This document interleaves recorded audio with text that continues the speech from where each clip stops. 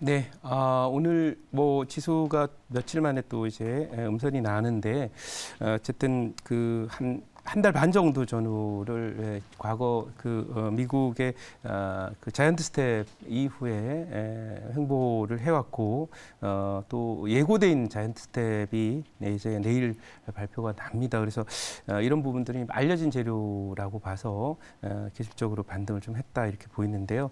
어쨌든 지금부터는 시장이 이제 물가 고점이 그 6월달에 나왔고 어, 금리 고점은 아마도 올해 12월에 나올 것이고 예, 그러면 아, 이제 다음에 나오게 될 주요한 시장의 관심사는 바로 경기 흐름입니다. 그래서 고금리와 고물가 속에서의 예, 그런 그 기업들의 설비 투자와 또 소비자들의 소비 지출 감소가 음, 결국은 이제 경기 경제 성장을 떨어뜨리는 경기 침체로 갈 건데 에, 예, 그런데도 불구하고 이것을 이겨낼 수 있는 예, 그러니까 기술적인 혁신이 됐던 새로운 시장을 개척하든 아, 이런 걸 통해서 아, 경기가 침체되더라도 아, 그 안에서의 경쟁력을 제고하면서 세계 시장을 넓혀 나가고 매출을 올린다면 좋은 회사가 될 거고 일반적인 의미에서의 경기 관련주라 하더라도 이 혁신을 통한 성장 가능성에 우리는 주목한다면 좋은 종목들 갖고 또 이 경기가 나중에 내년 하반기부터는 돌아서기 시작할 텐데 그 시점에서 또 큰 수익을 낼 수 있지 않을까 이렇게 생각합니다. 그런 종목 갖고 왔고요. 보유 종목들 잠깐 보도록 하겠습니다. 지금 보유한 종목들을 쭉 보면 예, 현델릭트르기는 어제 이제 소개를 드렸었고요.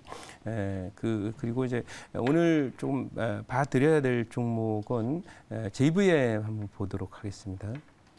이 JVM이 지난번에 1차 목표치를 예, 달성을 했고요. 예, 그 올라간 다음에 예, 목표 터치를 한 다음에 어, 지금 잠깐 한 3일 쉬었거든요. 3일 쉬고 이제 다시 이제 올라갈 채비를 했어요. 지지선이 딱 있는 걸 보이실 수 있죠. 네, 그래서 여기 지지가 되고 다음에 타겟은 여기쯤 될 겁니다. 2만 한 3천 원 정도. 그러니까 이때까지 보유하면 수익 극대화 하셨으면 좋겠고요.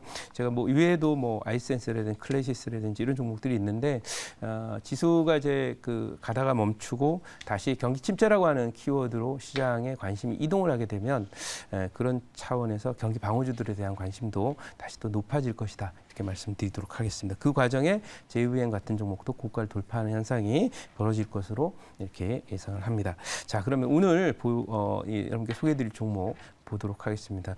아, 이 종목을 두고서 에, 그 에, 경기, 경기 침체도 이길 수 있다 이렇게 얘기했는데 보겠습니다. 아, 6만 5,500원 현재 기록하고 있고요. 네, 종목 이름은 에, 바로 현대 위아 되겠습니다.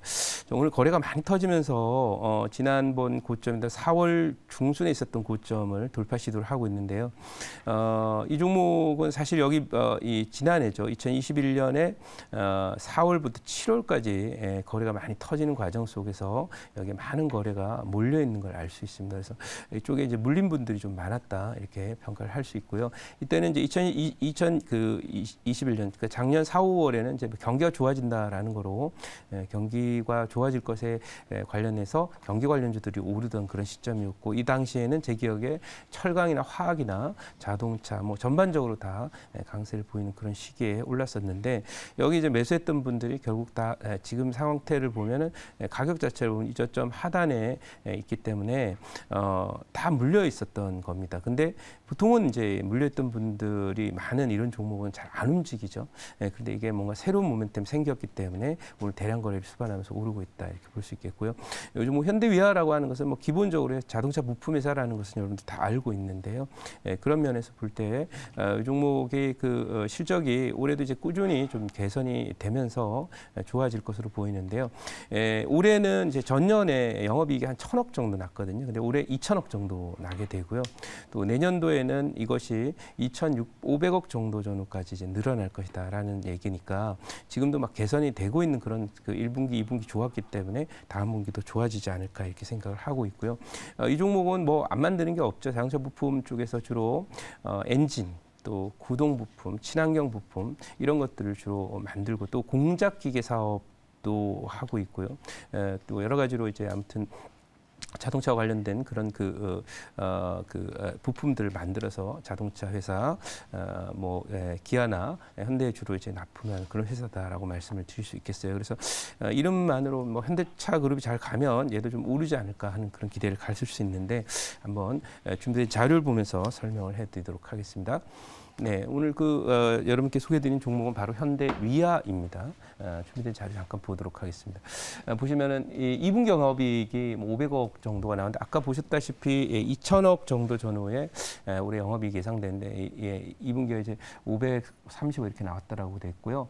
이 자동차 회사, 자동차 부품 회사가 이렇게 지금 경기도 좀 안 좋은데 뭐 17%씩 이렇게 성장하기가 쉽지가 않습니다. 그것은 뭐냐면 이 회사가 공급하는 자동차 회사인 현대차나 기아차 가 아, 지금 뭔가 어, 좀그 어, 실적도 그렇고 판매도 그렇고 다른 경쟁사들에 비해서 잘 하고 있다라고 하는 것을 시사하는 그런 암시하는 대목이 아닐까 생각을 하고요.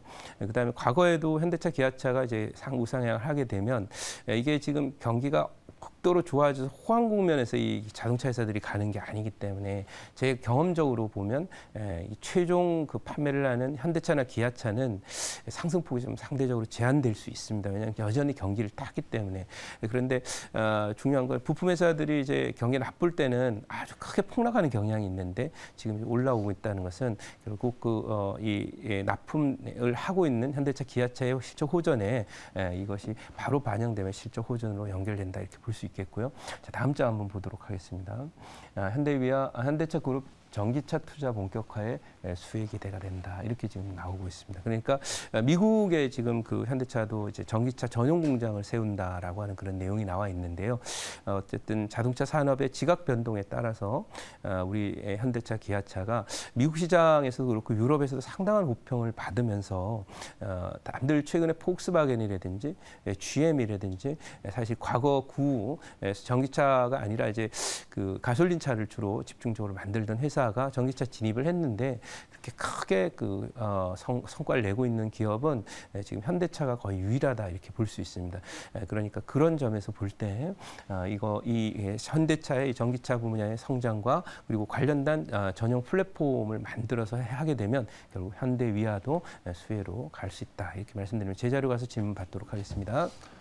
네, 제가 질문해 보도록 하겠습니다. 이제 현대위아 최근에 이제 호실적 좀 발표하면서 주가도 좀 잘 올라오고 있는 상황인데 아까 얘기해 주신 것처럼 어, 자동차 같은 경우 사실 이제 경기를 좀 타는 산업이잖아요. 그렇기 때문에 사실 이 부품주도 어, 그거에 따른 좀 영향을 받지 않을까 네. 좀 생각을 하는데 네. 그럼 이 부품주 쪽에 대한 전망을 좀 어떻게 보시는지 요 내용 부탁드립니다. 네, 어, 일반적으로는 사실은 그 경, 저- 자동차 회사들이 경기를 탑니다. 경기 네. 관련주이고, 에, 그래서 에, 과거에도 뭐 예를 들면은 제 기억에는 대한유화라고 하는 회사가 있었는데 어, 경기를 타면서 이제 대부분의 화학주들이 저점을 깨고 내려갑니다. 예, 그런데 그 당시에 대한유화라는 회사는 어, 증설도 하고 또 그쪽 그 에, 대한유화가 주로 어, 생산하고 있는 아이템이 어, 세계 시장에서 장, 시장 장악하기 높고 그러다 보니까 오히려 어, 이 다른 회사들이 막 반토막 나는 와중에 어, 네 배씩 올랐던 기억이 있고요.